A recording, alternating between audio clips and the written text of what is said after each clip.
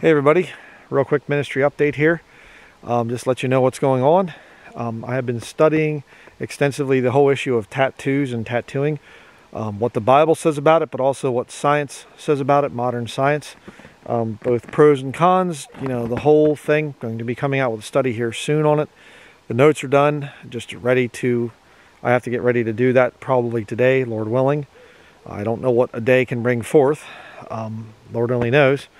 As an example, yesterday, I, was, I did the video, I showed the little tracker behind us and things. Wasn't a real expensive vehicle. We just wanted something, just a little beater type vehicle. And, uh, and I said it's running great and everything. You know, well, spoke a little bit too soon because I went to get in it. We got all of our stuff loaded in it, ready to go to the office.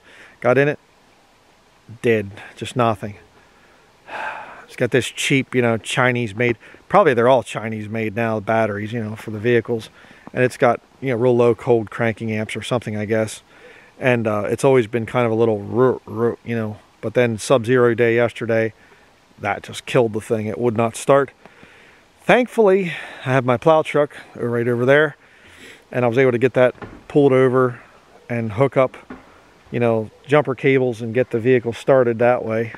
But we always joke about the made in China rule, you know, being that uh, it'll be good for two to three years and then it pretty much dies after that. Kind of like that uh, old ShelterLogic over there. We've only had that thing for about three years now and it started ripping apart and whatever. So we just had fun with it. We just took a, a knife, pocket knives, and we were cutting the holes in the thing. Stupid thing. I bought a tarp, put that over top just to try to get it through last winter, which it did. But then the wind blowing and everything, it ripped it and it just fell down. Great was the fall of it. Uh, so that has to be torn down and scrapped or something. I don't know what I'm going to do with that thing. Uh, but, you know, if it's made in China, it'll last you for a few years and then it's done. That's what we joke about. But um, so now I have to get a new battery for the uh, Chevy Tracker. Again, not a huge expense, but just annoying you know, just constantly having to deal with this type of little, these little things. And uh, some of it's just normal life. I get it. I'm not being persecuted all the time. Uh, like some people try to make it out that I say that stuff. I don't. But um, some of it's normal life, but some of it's just, you know, the devil's little, little ways of just little thorns in the flesh to keep uh, me busy on things that uh, aren't necessarily all that important. But um, other people have let me know, Catholics actually let me know first, kind of funny. But then some of the brethren have been letting me know about this uh, Catholic Truth channel with uh, Brian Mercier, Mercier, uh, Mercier probably would be the original way to say it. And I guess it's a French name, M-E-R-C-I-E-R. And uh, they said he made a video, you know, exposing born again barbarian. Wouldn't say my name, of course, because you don't speak the name of a heretic and you know I guess he doesn't have enough time to do that kind of research either apparently. But uh, I'm probably going to be refuting what he said and whatever and showing no actually the Catholic Church does teach that you can become a god. And he actually showed the proof and then just kind of glossed over it went on. But uh, I will be doing a video on that after the tattoo thing I think unless something else comes up. Uh, this lane is something else right now. It's uh, if you can see that it's rather icy, very, very slippery. Um, but yeah, that's those are the plans right now. I still have the letters to answer. I keep a number of you keep saying, "When do you, when do you, can't talk right. My mouth is a little cold. Uh, it's right around zero degrees right now.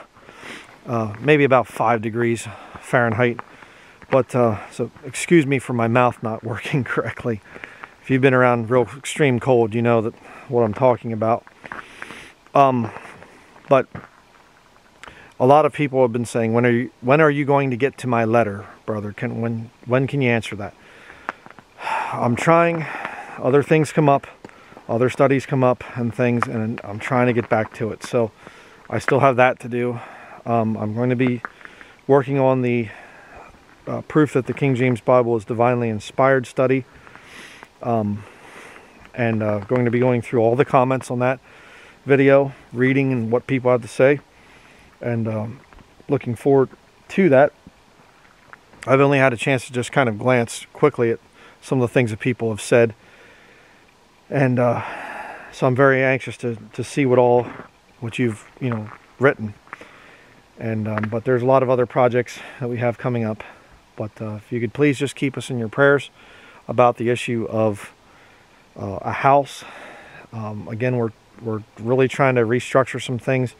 We might move to a different area of Maine, maybe to another state. I'm not sure yet, uh, depending on how things go here with Wolfden and all that other stuff. Um, the mining company that wants to mine just north of us here. Hopefully they won't get their way. Doesn't look very good for them at this point, but you know, Masonic scheming can come in at any time and change plans. Um, not care what people think or whatever. And um, so, but we want to have a property where we can be there and work there and not have to be driving back and forth every day. It really cuts down on productivity. And, um, you know, plans change. I mean, we were going to do the whole off grid thing here, and we have done that. You know, since 2018, we've been off grid. So for five years, we've done that. We've saved a lot of money. Praise the Lord, we've learned a lot. Um, and it's not that I hate the off grid life, I don't. It's just that doing what I do for a living, um, it just makes it pretty tough. And, you know, again, let me just speak to that for a minute. Uh, 2018, there were a lot of threats on my channel. So I wasn't even sure I was going to be on YouTube. I was thinking maybe I'll go back to doing offline videos like I started out doing before I got into YouTube. I was doing offline stuff in 2007, got on YouTube in 2008, really didn't start doing anything until 2009. I put up some logging videos and fishing videos in 2008 just so I could have a channel and um, but I didn't really get into any kind of ministry videos until 2009 and that was only just a few videos that year. And then I started to really accelerate as time went by um, started to put more studies out there. So 2018 it was very unsure what my future was so if you want to judge me and oh you're, you're just can't make up your mind Bryan well no I'm just trying to figure out what the Lord wants for us you know that's the whole thing I bought this property because we got a really good deal on it, offered a very low price. Lord gave it to us, and I thought, okay, we're going to be off-grid homesteaders. And because, you know, the YouTube's going to shut me down, and then I'm going to have all the time in the world to build my dream log cabin here and all the other stuff.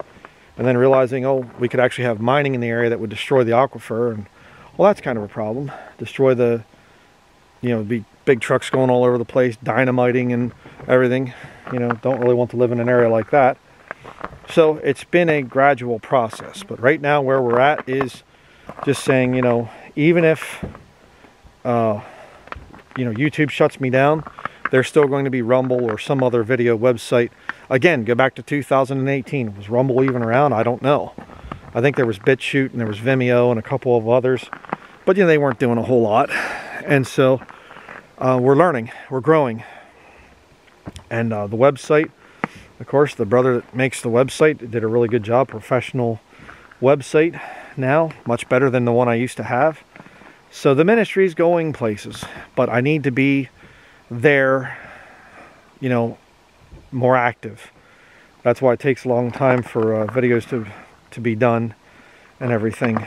Um, you know, I have you know, I mean, winter maintenance in Maine is a can be a big thing. I mean, it can take many hours to clean out your lane, and you know, right there is my plow truck, and it's got this goofy push plow thing on. It. It's not a hydraulic or electronic or anything. It just pushes forward, and when you back up, it flips down and and kind of pulls back, and then it flips up again when you go forward, which is nice because I don't have to worry about electric or uh, yeah electric stuff, you know, breaking or hydraulic fluid or anything leaking. It works, but you know, the problem is it's just a little bit light because it's an aluminum plow blade. So it, it tends to ride up on top of the snow if you get a real wet, heavy snow. Dry powder stuff works great, but wet, heavy snows, it just rides up over it. And you get these, you know, my wife calls them moguls, you know, like skiing bumps, like these mogul things. And uh, my son's doing firewood over here. He's taking firewood from the scooching and going that way. Um, the old school bus here is what I'm saying. Um, but so that's my prayer request. People could just pray about our uh, house search. Um, people are still in this insane mindset that houses are worth, you know, half a million dollars when they're only worth fifty thousand dollars or something. And the housing market, the housing bubble's crashing, and all this other stuff. I hate to spend so much time on that stuff, but I have to study and see what's going on and whatever. So, uh, anybody that says living out in the countryside is a boring life and there's nothing to do, boy, you, you don't quite get it. Uh, there's plenty of things to do when you live out in a place like this and and everything. So, okay, I'll quit rambling now. But uh, next up will be the tattoo sermon, the serious sin of tattooing, and it is a sin. I'm going to prove it conclusively. And if you have a tattoo, I want to turn you away from getting another one. And if you have no tattoos, but you're thinking of getting one, I want to stop you from getting a tattoo because it's not just bad spiritually, it's extremely bad physically. And I'm going to be showing some very shocking information that I've never seen anybody talk about before.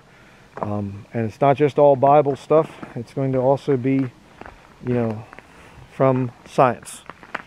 Okay? So, trying to make my way across the icy lane without falling and smashing my camera. And then it, next up after that, Lord willing, will be I'll answer this Catholic guy. And then uh, might get to the letters after that or, or to the perfection of the King James Bible thing or I don't know what yet. We'll see what happens when that time comes. So, see you in the upcoming study. And thank you to everybody out there for your prayers, for your donations.